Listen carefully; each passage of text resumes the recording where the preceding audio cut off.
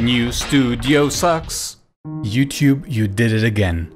In our time of stressing over monetization, you put a new video into our dashboard. This time with two smiling people and not just one. You must be getting desperate. Alright, let's click it. Hello? Stop talking, I'm still mad. I can't be listening to those people. Let's skim through though. A reasonable thing to do. Alright, nothing here, nothing there, nothing there, nothing here. Still nothing. No. Nothing. No, just talking. Nothing of interest. No, nothing still no. Okay. Look at this. They talk about the thing, I assume, but they don't show the thing they talk about. They show us how to get there. Alright, let me just find this here. And they use clickbait in the title of the sense of lying about the expected content of a video. At least that part is consistent with what we're supposed to be doing as creators, I guess. But show us the actual new studio? No sir. What pisses me off though, they don't even put a link into the description of the video. You claim to be wanting to teach us how to use YouTube, but you don't know how to use YouTube? Man, must feel good being a monopoly. Alright, so let's just type this in. studio.youtube.com Yeah, YouTube, I know you're desperate for us to start using this and I'm at least thankful you don't force us to switch yet, but no way I'm letting this dumbed down UI take over as long as I don't have to. Anyways, let's first give it some credit for what is not horrible. There are slightly more videos per page.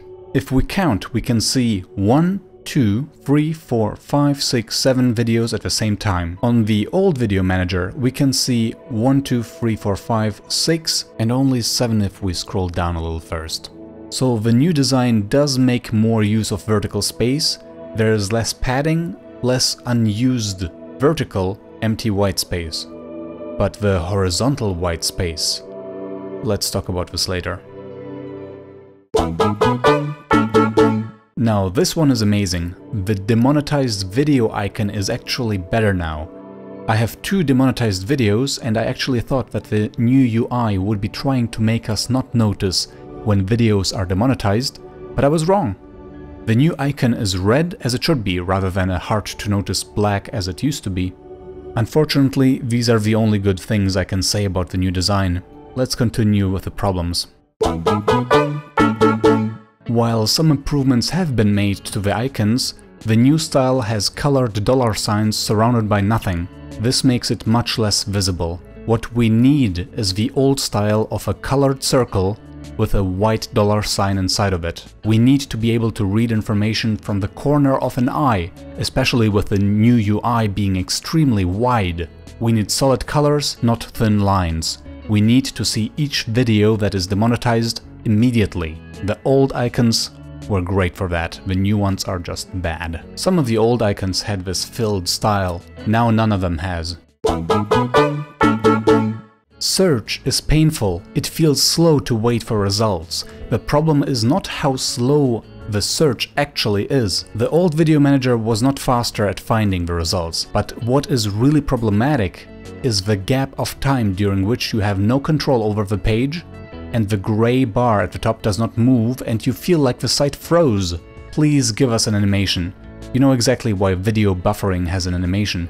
It's so that viewers don't run away to Facebook or Twitch because they feel ill when videos get stuck. We need to feel something. The old system at least has the loading animation in the tab, but the new JavaScript infested interface just feels dead. There's no movement anywhere. Just give us a spinning loading circle, come on people. These mouse hover tooltips are super annoying. So here are the thumbs ups and downs. They couldn't put this into the spreadsheet layout? We have to hover to see this, really? Monetization has tooltips too. This video is being monetized. Oh really, you think the icon and the word on wasn't clear enough? This might be relevant for non-monetized videos, but people like to look with their mouse, so put it somewhere else.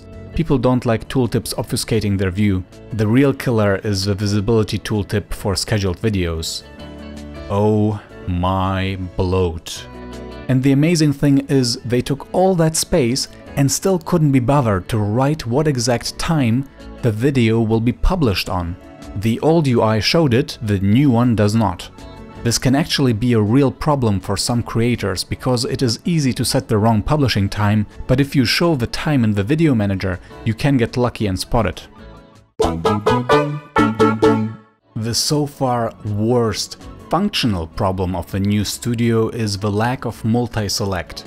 The old video manager has an amazing feature that allows for example adding tags to multiple videos. You can even select all videos ever uploaded and then the tasks get processed slowly one after the other. However, I guess they will add it again, maybe?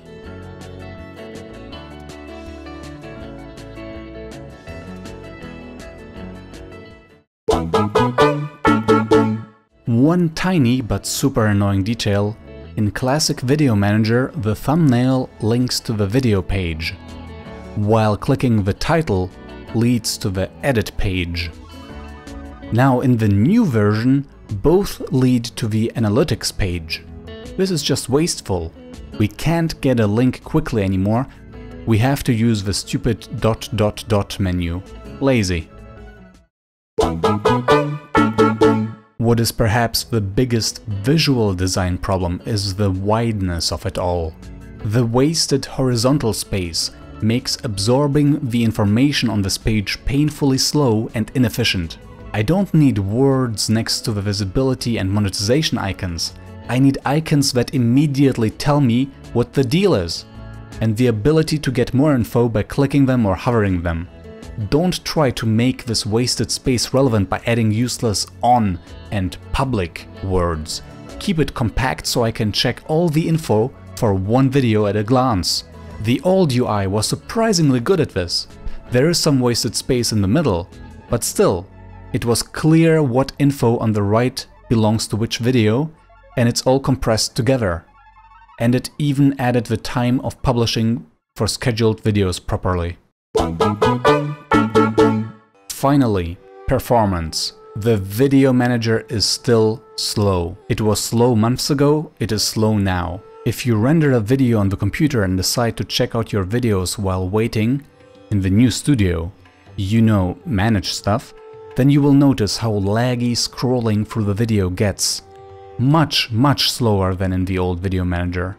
Testers, please download a video editor, download some video, just re-render it, and while doing so try the new studio.